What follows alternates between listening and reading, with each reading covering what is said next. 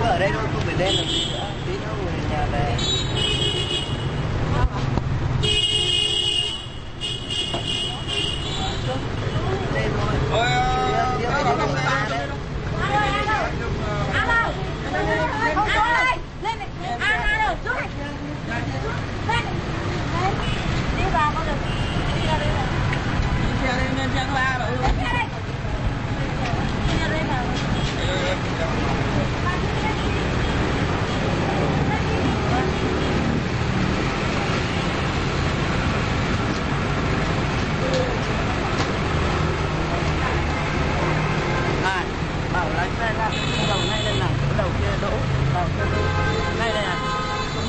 Đường kìa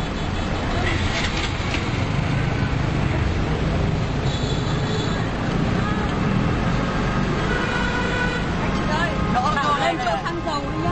Đỗ đây đấy xong mình đi bộ vào. đây đây đây đây này